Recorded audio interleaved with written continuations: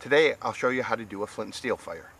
What you need is high carbon steel, a piece of flint or chert or obsidian, char cloth, and a tinder bundle to blow your ember into flames.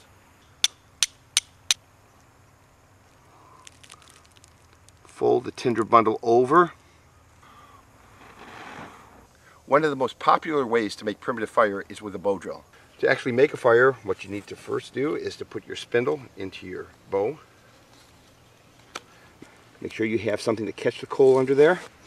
You want your shoulder directly over where the spindle is. So to put pressure on, all you have to do is lean forward.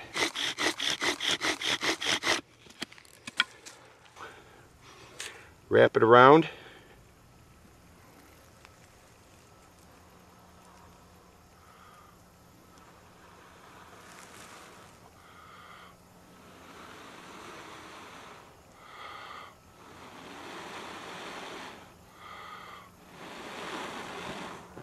And there's your fire with a bow drill.